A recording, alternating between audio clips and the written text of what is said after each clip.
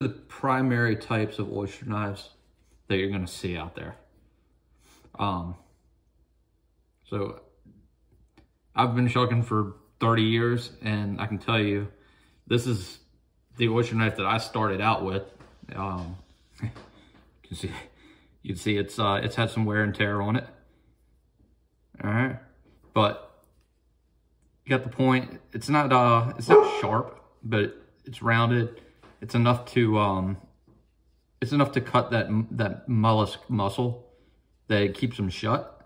Uh, really what you're trying to do with this kind of knife is you're, you're drilling. In fact, um, I think this knife might be called an oyster drill.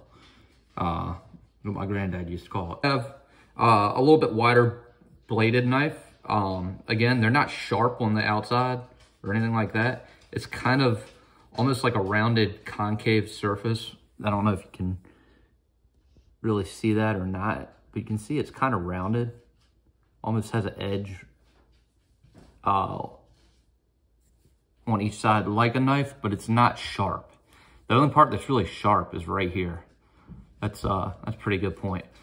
Now, I personally, this is not a knife that I'm really familiar with. This is what I would call like a clamming knife, but um, I just wanted to show it to you. So this is Victorinox, which uh, makes an awesome knife, period. Um, but I came across their oyster knife a few years back uh, at a restaurant and I had to have one. So I've been using this one for a few years now. Um, and again, it's got all the same kind of basic concepts, but I think it's uh, it's a harder steel. Um, you can take it to a stone and sharpen up the edges a little if you want. You can also get that point back by simply grinding. So I don't like to work with a super sharp point uh, with this kind of oyster knife. I kind of keep it a little bit dull.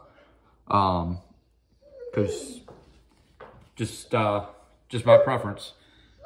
This is a toadfish and, uh, I gotta be honest, this has really, uh, been my go-to knife here lately. It's, uh, it's rounded like your traditional oyster knife. It's concaved.